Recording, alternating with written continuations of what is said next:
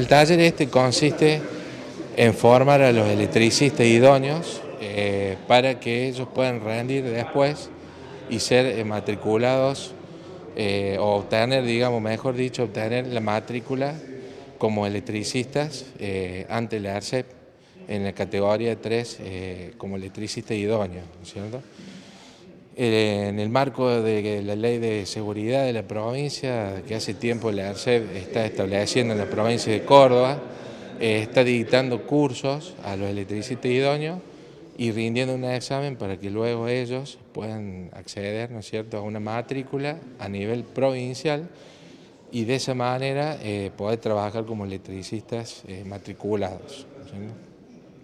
Eh, el curso va a consistir en conocimientos técnicos de electricidad, obviamente exclusivamente de eso, pero apuntado a lo que nos pide la ARCEP que demos, ¿no es cierto?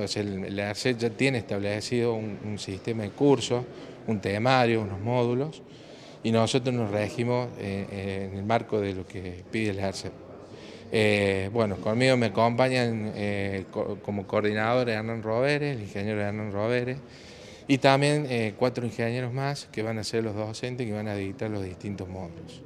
El ingeniero Guillermo Suárez, el ingeniero Sergio Pérez, el ingeniero Daniel Romero y el ingeniero Matías Bóstico.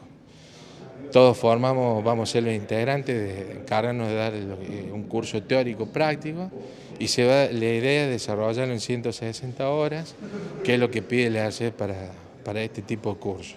El que termine el curso y rinde bien el examen que lo otorga el ARCEP, luego va a poder trabajar como electricista matriculado con un número que va a estar registrado dentro del sistema del ARCEP en la provincia de Córdoba.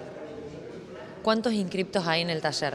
Aproximadamente tenemos entendido como es el primer día que son 60 los electricistas que están anotados, los interesados.